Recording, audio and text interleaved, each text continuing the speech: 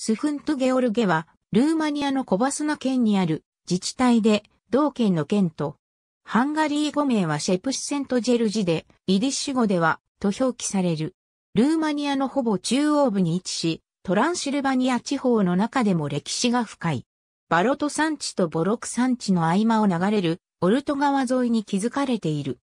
住民の多くは、成形人で、2002年国勢調査でも住民の75%が自身をハンガリー人と答えた。その他23%がルーマニア人で、あとロマなどが少数いる。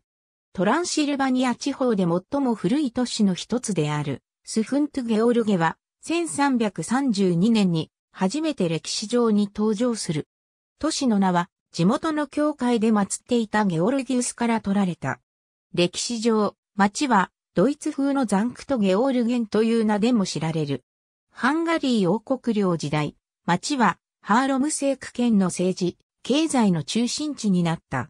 19世紀後半には繊維とタバコの工場が置かれ、軽工業が発展した。第一次世界大戦が終結し1920年にトリアノン条約が結ばれると、ルーマニア王国の一部となった。しかし、1940年に第二次ウィーン裁定が定められてから4年間は、ハンガリーの支配下に置かれた。第二次世界大戦後に結ばれたパリ条約では、町を含むトランシルバニア地方は、ルーマニア領と認められた。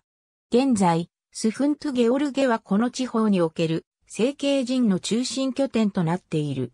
彼らは町を、成形の地という意味のセコリーホールドと呼んでいる。町には、成形人国立博物館があるほか、年に2回役所が物産祭を催している。基幹産業は、繊維業。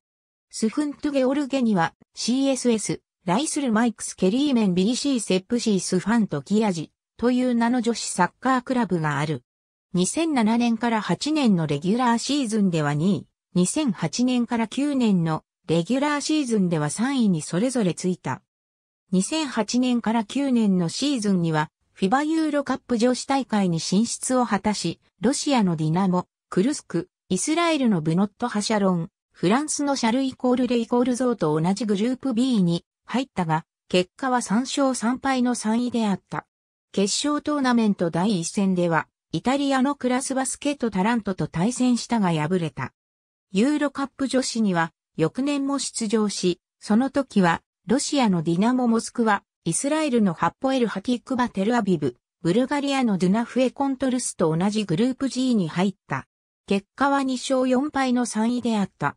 決勝トーナメント第1戦では、スペインのマンフィルテル・サラゴサと対戦したが敗れた。その年度のレギュラーシーズンでは、チームは2位につけた。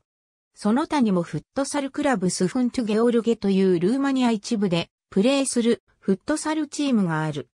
ありがとうございます。